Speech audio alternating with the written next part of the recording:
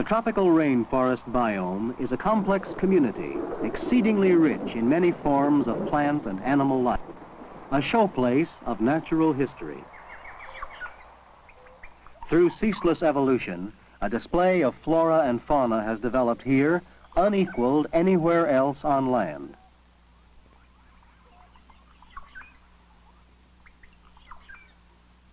Millions of years ago, when the climate of the entire Earth was warm, these forests spread north and south of the equator almost to the poles. When the ice ages came, the forests retreated. Today, although reduced in area and centered on the equator, moist, always green forests still cover one-tenth of the Earth's land surface and comprise a large part of the total forest area of the world. In all tropical rainforests, there is constant warmth and an abundance of moisture. Rains fall in cloudburst proportions during part of the year. During the rainy seasons, water drips constantly from the forest roof to the vegetation in the dimly lighted, warm and humid corridors below. Let us compare the temperature and rainfall of a tropical rainforest with that of a temperate forest.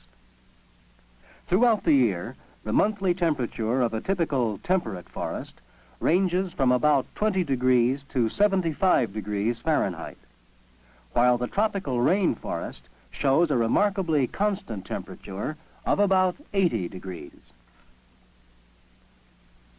Rainfall in the temperate forest averages between 2 to 3.5 inches per month, while in the tropical rainforest the monthly average ranges from 1 to about 17 inches. Structurally, the rainforest is a layered mass of vegetation whose makeup is difficult to discern. Between the sunlight and the earth are layers of plant growth. On the ground are mosses, fungi, tree seedlings, and herbaceous plants.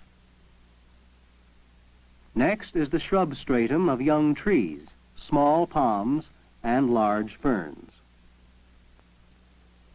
Above these are the smaller trees, whose density of foliage and branches is greater than any other level of the forest. Above this stratum are taller and sturdier trees, whose crowns interweave to form an almost unbroken forest canopy.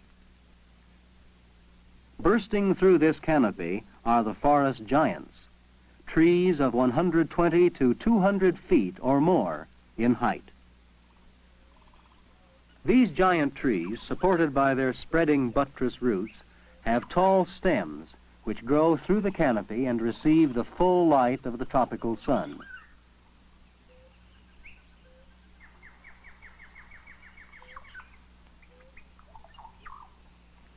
Smaller trees, too, sometimes depend on stilt roots to support them in the soft ground. Masses of climbing vines called lianas close the gaps in the canopy overhead.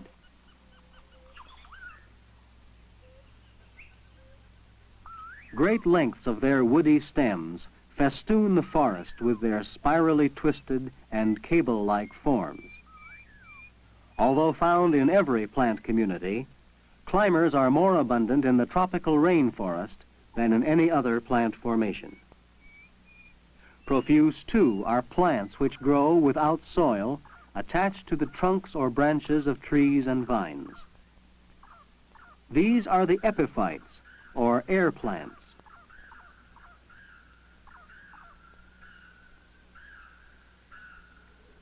From their anchorages, some of these air plants send down aerial roots that take minerals and water from the earth itself Amidst all the greenery, flowers grow in great numbers, colors, shapes, and sizes.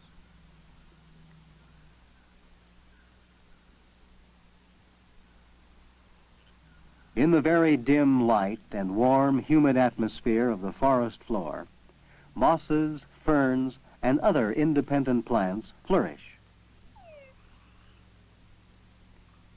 It is here among the bases of the trees that the fungus plants, acting with other agents of decay, quickly destroy the dead plant material so rapidly that much of it is not available for the growth of plants.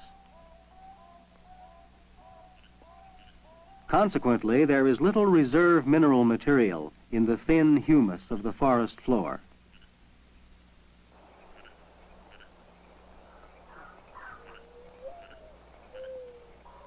The variety of animal life is as rich as plant life in this community. High in the aerial spaces of the forest dwell the noisiest creatures, the howler monkeys. Their relatives are of many species.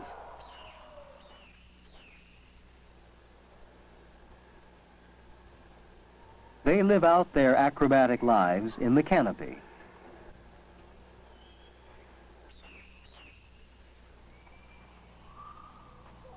The canopy also shelters a vast number of birds, gaudy parrots, the toucans, the tityra, hummingbirds, and the carnivorous vultures are but a few. They share the trees with other animals such as the coatimundi, the raccoon-like kinkajou, the jaguar, and the slow-moving, sure-footed sloth.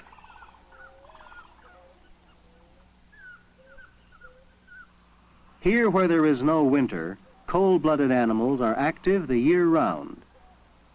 Iguanas, turtles, crocodiles, and snakes are found in great variety.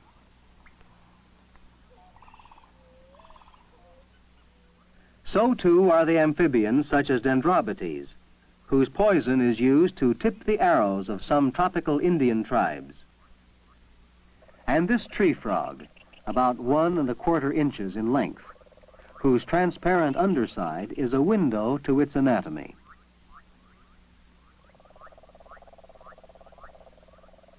Smaller still, this little amphibian, about one inch long, is as lively as its coloring. By intense selection, these creatures vary greatly in color, size, and form. The sticky cups on the end of each toe of the tree frog enable it to move about on the slippery foliage.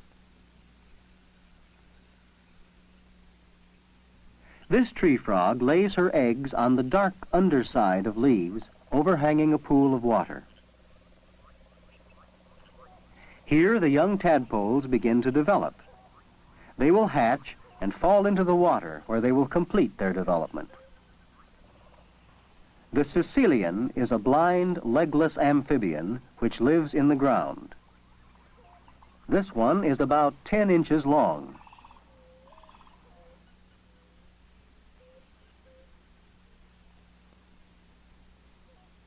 This rare and unusual tropical animal, Peripatus, resembles both annelids and arthropods, but belongs to neither of these phyla. Peripatus is in a phylum by itself. Its stumpy legs are caterpillar-like. The most numerous inhabitants of the rainforest are the arthropods. Among these are the web-spinning spiders, the hairy tarantulas, poisonous scorpions and centipedes, millipedes, flying insects such as the butterflies and the wasps, the crawling insects like the Hercules beetle, and the inch-long Ponerine ants. With their species numbering in the hundreds of thousands, tropical insects have evolved into many diverse forms that help to protect them from their enemies.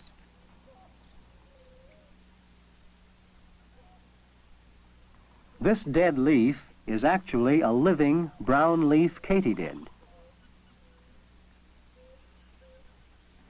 Deceptive enough in its costume, this leaf blemish katydid adds mimicry of the fluttering leaf in the wind to its disguise.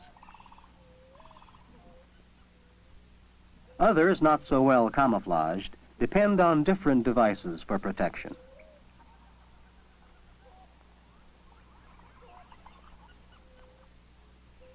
This giant three-inch cockroach roams about at night and hides during the day in crevices under bark.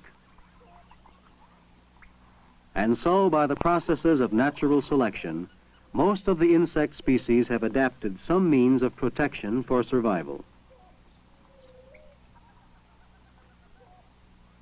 Here, insects are being attracted at night by artificial light. Their forms and colors reveal the variety of the niches they inhabit.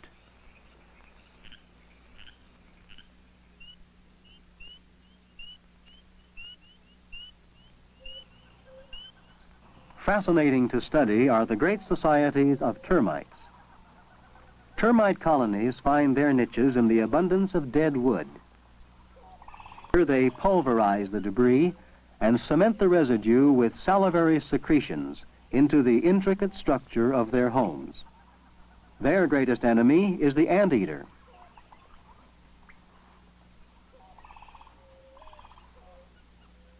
Leaf-cutting ants strip entire trees and shrubs of their foliage. Each worker ant carries a piece of leaf up to 30 times its own weight.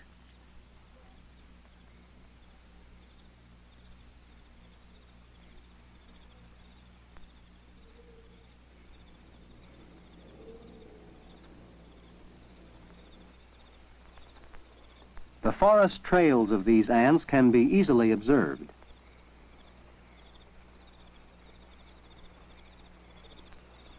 On the leaves within their nests, the ants cultivate a kind of fungus, which becomes their basic food. These legions of predatory army ants may number up to a million or more individuals. Migrating by night to a new bivouac, the marching hordes of worker ants are protected by the larger soldier ants.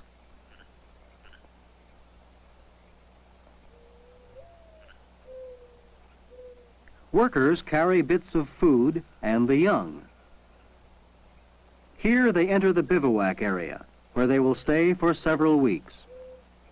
The bivouac is an astounding structure built entirely from the interlocking bodies of the ants. From this temporary home, they will move out in search of food. They will attack almost any animal, large or small, that gets in their way. To profit from such rainforest products as fruits, rubber, coffee, and timber, man has employed many unwise practices which destroy great areas of these forests.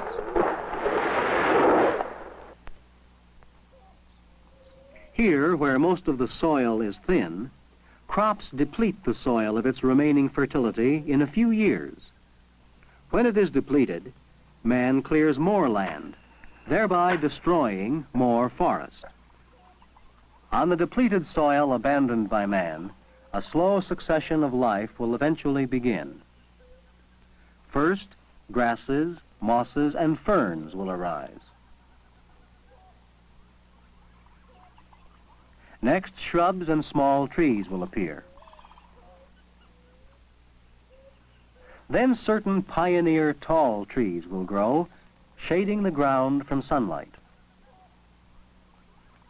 Over a period of many years, the succession may result again in a climax tropical rainforest, comprising the greatest variety of plants and animals in any land biome.